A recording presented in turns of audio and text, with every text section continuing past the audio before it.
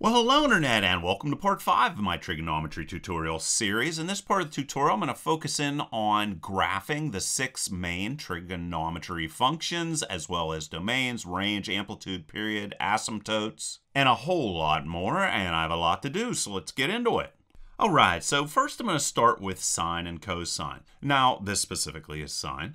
These graphs are going to repeat in a wave pattern, and they're going to have both a maximum height as well as a minimum height. And you can see here the maximum height for sine is going to be 1, and the minimum height is going to be negative 1. All right, and all of these different points inside of here, I'm going to refer to them using radians. So if we proceed, Obviously, this is going to be the zero index here. And then here at the very top of the bump, we are going to, this is going to be at pi divided by 2, where we touch the line right here. This is going to be pi. Again, down here, this is going to be 3 pi divided by 2. And then way over here on the right side, where we touch the line again, is going to be 2 pi. And likewise, we're going to have negative pi over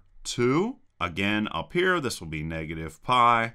This is going to be negative 3 pi over 2. And then down here where we touch finally is negative 2 pi. Now, in regards to the domain, it's going to be all possible inputs. And I'm going to write this in set notation. So, it's going to be all values of x such that, that's what that line means, such that x is a real number. All right. In regards to range, it's going to be all possible outputs where we have values that are less than or equal to where we have values that are greater than or equal to negative 1 or less than or equal to 1. And in set notation, that is going to look like f x such that negative 1 less than equal to fx less than equal to 1. Exactly like that. Now the amplitude is going to be the difference between the max and the minimum divided by 2. So our maximum value is going to be 1. And then the minimum value is negative 1. So this is going to be 1 plus 1 divided by 2. Of course is going to give us 1. A period is the smallest horizontal distance over which a function doesn't repeat. And if we start right here at 0, we can see that we begin to repeat way down here where we touch our line again. And that period is going to be every 2 pi increments, meaning that the pattern repeats every 2 pi increments. That's basically it. Another thing we're going to bring up in this situation, there are no asymptotes, but other functions have them. And they are just values a function approaches but never reaches. We don't have any of those yet, and we will cover them whenever we do. Now, before I show you how different changes to functions are going to affect the results in the graph, I basically printed out all of the major things you basically just need to memorize. So this just means if you have a negative function or you multiply the function times a negative value, it's going to flip the graph across the x-axis. Likewise down here, if you go and have your value of x be negative, well, that's going to flip the graph across the y-axis. Adding 1 or subtracting 1 is going to either move the graph up or down. And this in general is true of all functions that you would graph. If you go and add or subtract a value from the input, this is going to move the graph left or right. Very valuable information to know. If you take a number, that's what that number sign means there, and multiply it times a function, it's going to stretch away from the x-axis. And then if you divide by a number, it's going to compress towards the x-axis. Likewise, if you go and either multiply or divide by a input value to a function, it's either going to compress towards or it's going to stretch away from the y-axis. So those are some things you just need to memorize. However, what I'm going to do now is I'm going to actually show you the original sine function, and then I'm going to show you how other different, these changes right here, affect sine. Okay, so on the right side, you can see with this dashed green line here, the original graph of the sine function. However, let's say I would come in here and I would go and get negative sine. So I'm going to say negative sine of x. And you can see that whenever you go and multiply the sine function by a negative value, it's going to flip the graph across the x-axis. If instead you would come in here and let's go and delete that. And let's go and add 1 to this value. Well, as you can see, if you go and add a value to a function, it is going to move it vertically and it will go up if you add a value and it will go downwards if you subtract a value. In a similar manner, if you would come in and add a value to the input, you would get a situation in which the value is going to move horizontally. So if you add a value to the input, that is going to move it to the left. While if you come in and subtract a value, that's going to move it to the right. So what happens if we come in here instead and multiply a value? So I'm going to say 2 times sine of x. Well, in that situation, it's going to stretch the graph vertically by 2. And likewise, dividing is going to compress the graph. If instead we would come in here and let's say we go sine of 2 times x, you can see that multiplying is going to compress while dividing is going to stretch it. And this is also going to affect the period. I'll show you in a second how to find the new period. And then finally, let's say that the input value is negative. Well, in that situation, the results are going to reflect the graph across the y-axis. So if you're wondering how to find the new period after you would go and multiply the inputs by some value, well, what you would do is go new period here is going to be equal to whatever the original period was. And here's the period, of course. So the original period, and you're going to divide it by whatever the coefficient of x is. So in our specific situation, the original period was 2 pi,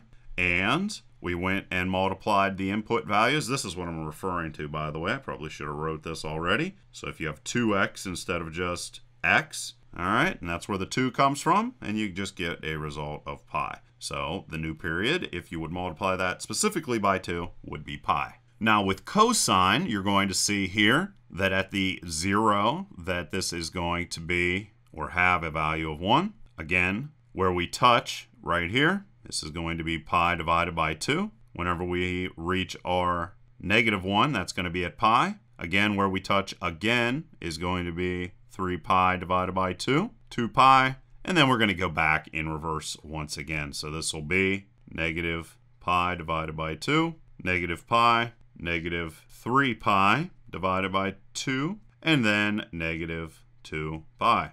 All right the domain for cosine specifically, and I'll write this in set notation as well. So this is going to be all possible inputs, x such that x is a real number. The range is going to be all possible outputs. So this is going to be all values of f as long as our function is less than, as long as our function is greater than or equal to negative 1 or less than or equal to 1. The amplitude, again, difference between max and min, well, it's exactly the same for sine as well as cosine. So this is going to be 1 minus, and then this will be negative 1 divided by 2. So amplitude, again, is 1. And the period, again, this is the smallest horizontal distance over which a function doesn't repeat.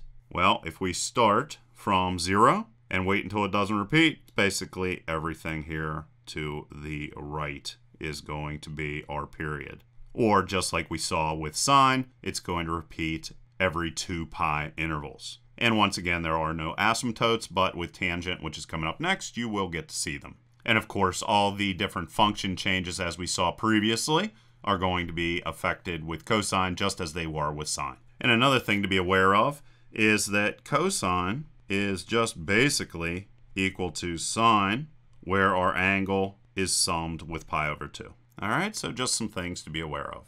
And that brings us to tangent functions. Now, the tangent function isn't defined for all real numbers, and its graph does contain asymptotes, which, as I said before, are values that are approached but never touched. So let's come in here and define those. You can see them right here. So if I come in here and with this dashed line approximate where the asymptotes are, guess what that's going to be?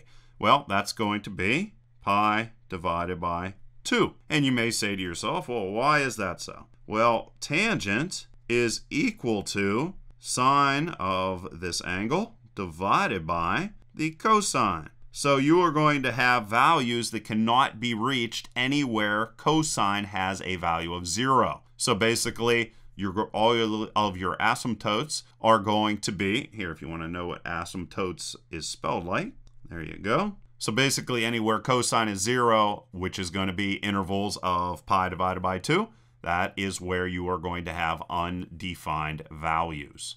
And you're going to have right here where we touch this line, this is going to be pi. And again, you're going to have another asymptote right here, which is going to be 3 pi divided by 2. Likewise, there's going to be negative pi divided by 2 right here. This is going to be negative pi. And again, this will be, if we draw our dashed line in here, this is going to be negative 3 pi divided by 2.